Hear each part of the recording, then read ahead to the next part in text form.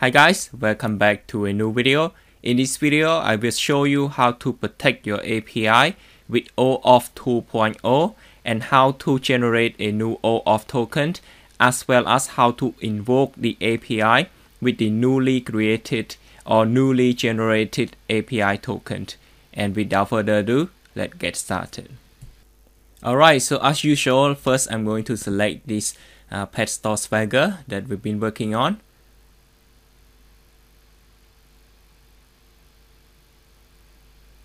and as you can see currently it is in the version number 3 and we will need to create a new revision select save as new revision.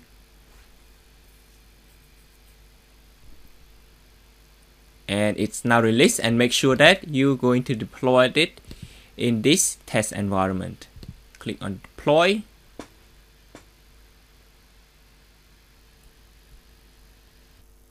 Alright, so now let's go to the develop tab. And here you can see that the policies that we have so far is the uh, verify API key. And we now need to uh, detach this one by clicking on this uh, cross icon. And you can also see that once it's removed, you can now see that this is the broken link. Alright, so now we are able to add a new one so let's just look for the OAuth version 2.0 so this is the one. And uh, I want to also rename this one as well. So OAuth verify token and click on the add button. Alright so this is the one and you can also see um, the XML code here as well. So we got the display name uh, we got the operation. Verify and uh, more here. Alright so now uh, we can just click on the save button. Okay so now I want to quickly show you whether this is actually working or not. Go to the trace tab and start a new trace session. So I'm going to use this uh, link again. Now click on the send button. We can now see that we got the 401 uh, status code which indicate that we are not authorized. Um, also, when I click on this uh, circle icon, let's just take a look at the content of the error. It says that uh, it is an invalid access token. Um, also right here, it um, mentioned that this is the OAuth version 2 invalid access token. So that means that uh, it does require the access token to be able to uh, try to hit this to get the response from it. Okay, so that's a good starting point. Okay, so now let's just try to stop this one and going back to the API proxies. So by default, uh, does provide this one, the OAuth a proxy. So you can also see the author name here as well. So now we need to deploy this one in the test environment. So just click on that one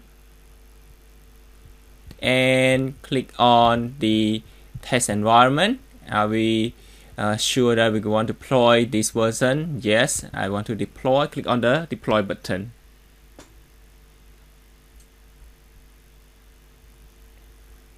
Okay, so it's um, deployed successfully. Um, now we need to generate a new OAuth token and how are we going to do that? Let now just uh, head over to the apps. And right here this is the uh, retail app.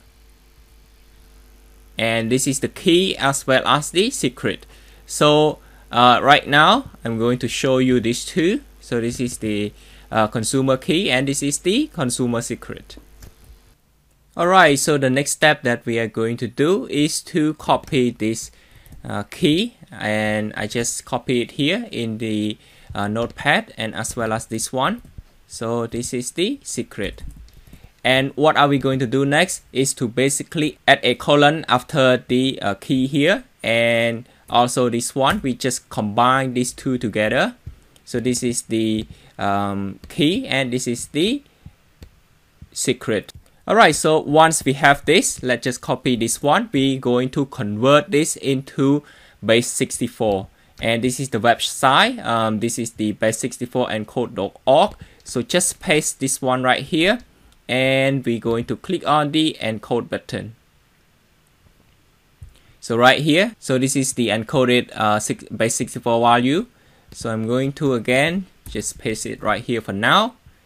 And the next step here, uh, we will need to um, add the endpoint and also we're going to use the post request with the header with uh, along with this value right here. Okay, so now let me just quickly grab the URL. So right here, I'm going to go back to the API proxy uh, Swagger Pet Store. Alright, so let me just copy this one. I'm going to paste it for now. So we're going to also, we, we only need this front part and the uh, URL. So let me just uh, finish typing this one for now and then uh, I'll show you. Alright guys, so here this is the URL uh, slash OAuth client credential access token grant type uh, client credential right here. So right here under the header, I'm going to add the authorization and this is the value which basically we get it from uh, here or coming from here as well. So let me just paste it in and in front of here make sure to put the word basic and the space in between. Okay, so um, right here, this is the post uh, request. Also, I just want to mention that uh, the OAuth here, it has to be deployed. Otherwise, you get an error message. So now let me just click on the send button. And here we get the access token that we want, which is right here. So this is the important information. Uh, right now, I'm going to just copy and paste it right here. So this is the access token. And once we have this, let's now try to get the endpoint that we usually use to hit. So going back to the Swagger Pet Store. Okay, so this is the URL. I'm going to copy this one and uh, change this to the get request and I'm going to paste it right here. So this is the URL Swagger Pet Store store uh, slash inventory. Um, right here, this is the same. Uh, it's still the authorization, but the thing is that right here, we need to change it. So we no longer need this. This time, what we're going to need, again, like um, if you already know some basic of the OAuth, it normally start with the uh, word bearers and then space. And this time, we're going to use the uh, access token that we got from uh, the generations. Um, now we get this. Let's now try to hit this endpoint and see if we get the successful response. Okay, so here it is. Uh, right now we get the status code of 200, meaning that it is successful. So if I try to change my access token to something else, say in this case like D, then we can see that it is an invalid access token. So that's uh, how we uh, try to generate and let's just uh, go back here. And again we still get the success uh, response. And that's pretty much how we invoke the API with the newly generated token. And also let me just uh, start a new trace session and then try to see uh, what we get like what the flow look like. So again I'm going to use the same one click on the send button. Uh, status code 200 and right here so we let me just deselect this one. So we have this. Um, this is the OAuth verified token. We get the access token right here. And see this one as well. With the authorization right here. And this is the uh, hidden value the token. And this is the URL that we hit. Okay, so right now the next step I want to show you is to basically remove the authorization header uh, because it is like a best practice to remove the header or any other information that is not relevant to the backend service uh, before we say we invoke the uh, backend service. So then uh, it is recommended to remove the authorizations uh, header after we use it just to ensure that the token never uh, leaks out of the uh, Apigee. So that's um, also a best practice to follow. And now let's just uh, try to stop this one and I want to show you how to assign uh, the uh, message. So to do that, let's just uh, go back to the developed. And currently we have this one, which is the OAuth policy. And now let's just try to add a new one.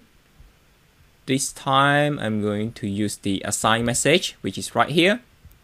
So let me just rename this one. Assign message, remove auth header. So this is the one. Click on the add. Alright, so this one right here. Uh, we may not need all of this so let me just remove the unnecessary information. We remove this part. We keep the remove header right here. Add set this are not required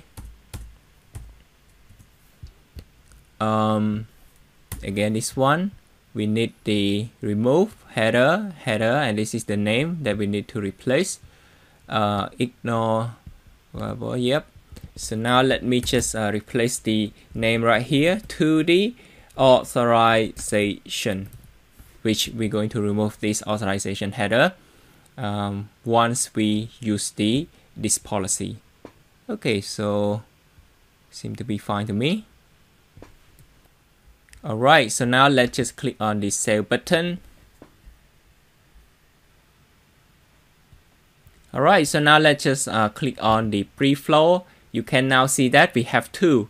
The first one is the uh, OAuth uh, 2.0, the verified token. And this is another one, which is remove the auth uh, header using the assign message. So we have uh, we now have two policy. Um, let me just try to hit this endpoint again just to show you whether it's still working. And yep uh, you can see that it's a 200 uh, status code. But the thing is that once we use this authorization uh, header then it just remove before hitting the uh, backend services. Okay so now we have all of this. Um, I think let me just one more thing. Let's just try to probably switch back to the uh, verify API key just in case that we want to you want to know how um, to switch back to the previous one. So let's just uh, remove this one click on that and try to drag this one into this uh, pre-flow. And this is the previous one click on the save button.